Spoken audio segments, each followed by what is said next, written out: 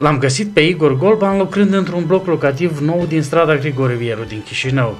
Mai nou lucrează cu un verișor, pentru că soția sa, Corina, nu se simte prea bine, e însărcinată. Așteaptă un copil pe care și-l doresc ambii foarte mult. Igor și Corina s-au cunoscut la școala profesională numărul 2 din municipiul Bălț, unde au studiat la specialitatea tencuitor zugrav. Când ar fi punerea tot mai bună în țara ta, așa, și eu sunt de acord cu ideea asta, că oricum, poate a fost un timp când psihotarii făceau bani mai mulți, dar acum oricum tot nu prea, tot mulți moldoveni se întorc acasă.